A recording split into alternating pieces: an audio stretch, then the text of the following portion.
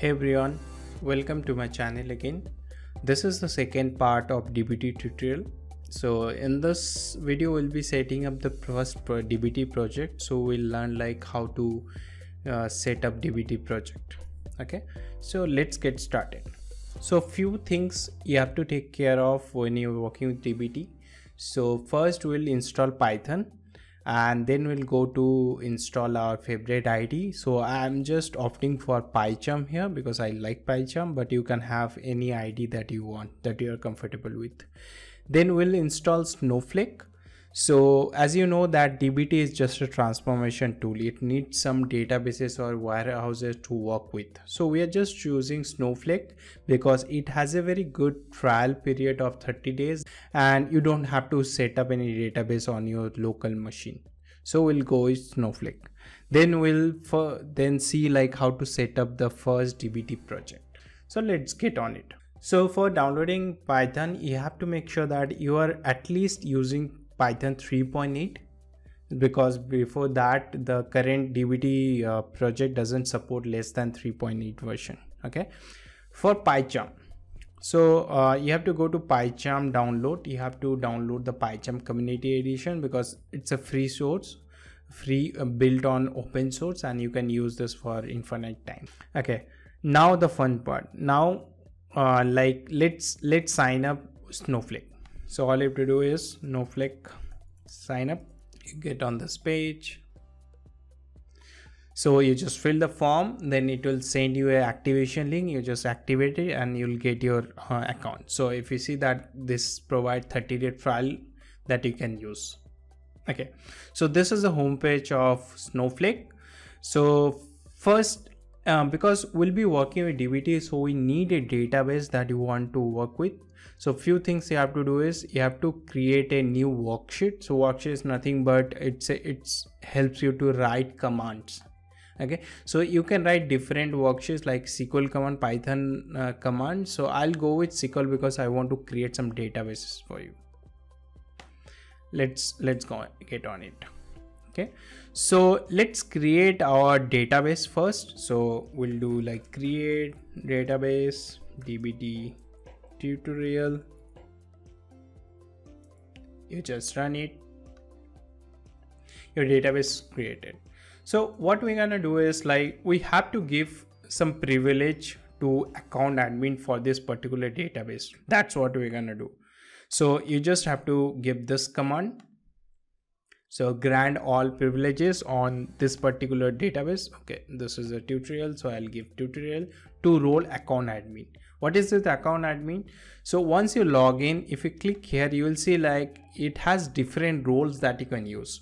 So for just for our tutorial purpose we are using the same user id and password and we are making ourselves as account admin this is not a best practice but for tutorial purpose we are just doing this because we don't want to go into like very much details on how to create user how to give like restricted permission to that particular user right? So we are just going with this.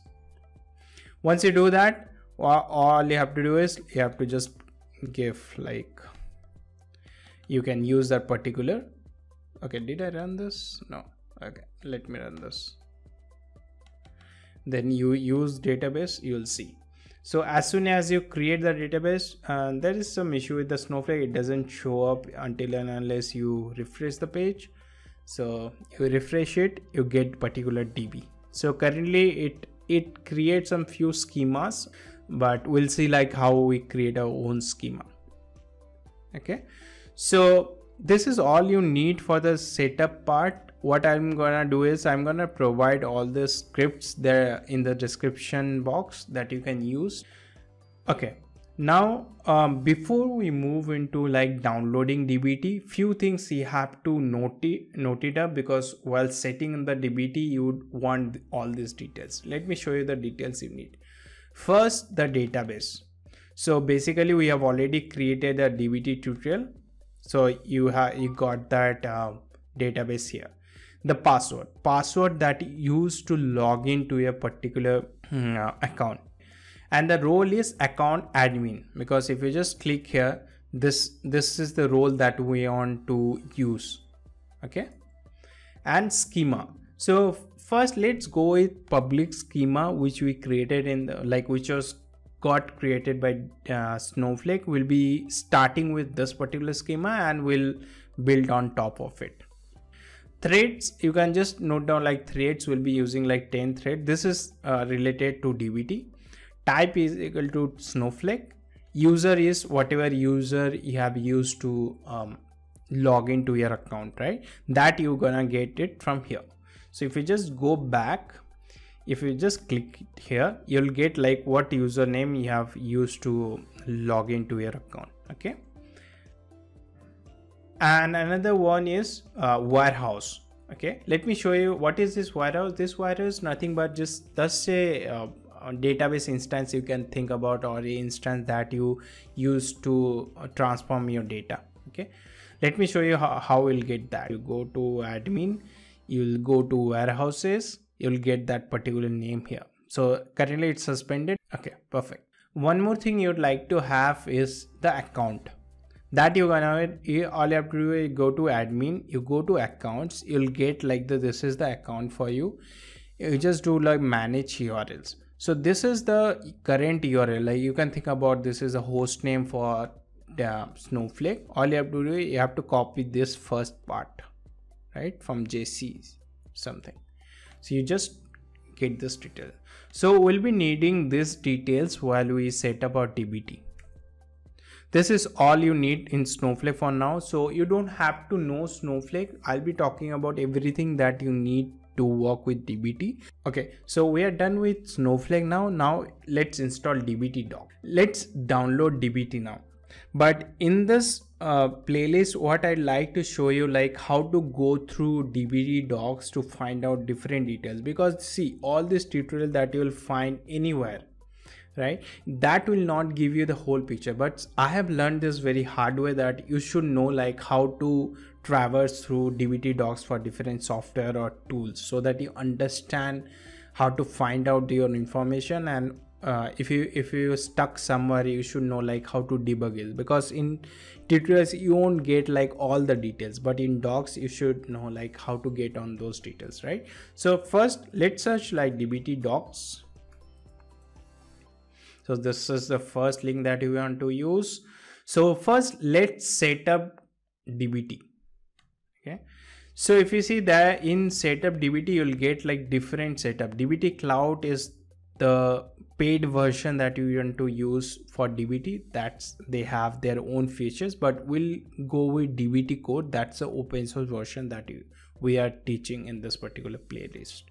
So you go to dbt core install dbt core and if you see that dbt core you can install in different ways. So we'll use pip to install it. Okay? So let's get on it. So what you want to do is like you you create any particular um, folder. Okay? So first we're gonna do is like first we're gonna create a virtual environment okay. So once your python are installed let's verify like where what type of version I, I am using. So i am using 3.10 so you can use the latest version. First let's create a virtual environment. So python m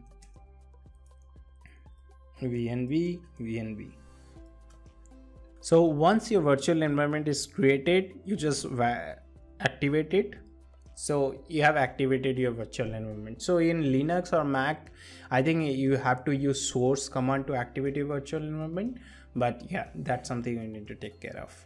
Okay. So now uh, from dbt i want to connect to snowflake. Okay. So let's get on a doc a dbt doc. Let's find out like how we can do that. So documentation now you want to connect to a data platform. You go here and if you see that you can connect to any data platform defined here so i'll connect to snowflake. You have to install this dbt snowflake adapter. Okay so this is coming from PyPI package that you want to use to install. So once you install this dbt snowflake internally it installed the dbt core and it installs a snowflake adapter. So adapter is something that dbt used to connect to different data platform. Okay so let's install this so you go here you go to command prompt you do like pip install.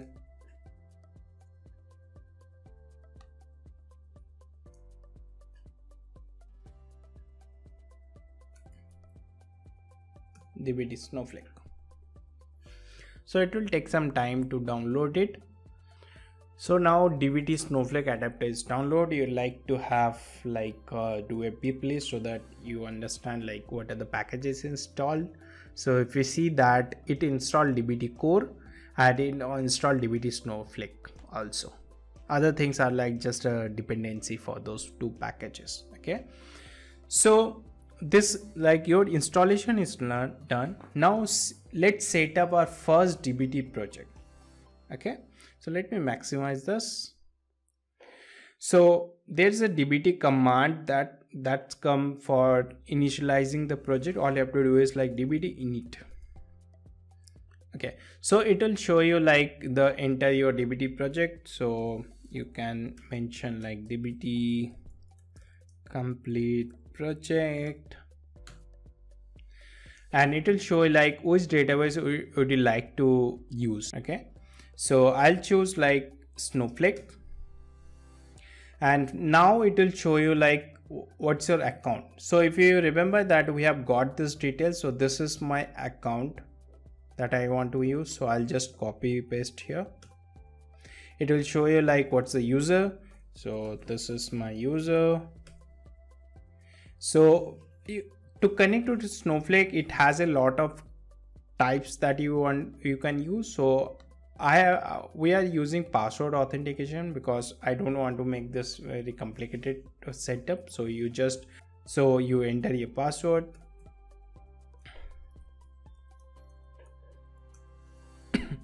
What's the role?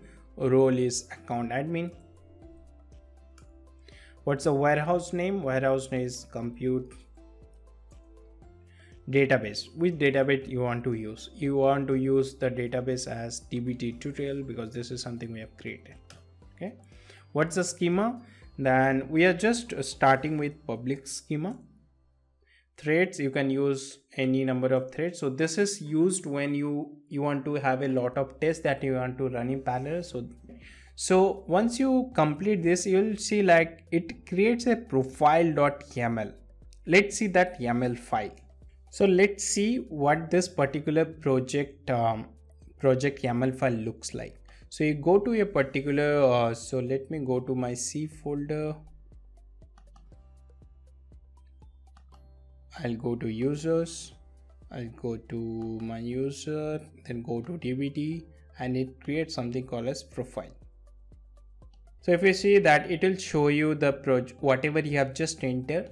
And this is something profiles.yaml is used by DBT to connect to your uh, Snowflake instance. This is your, the, all your validations are, all your setup is already done.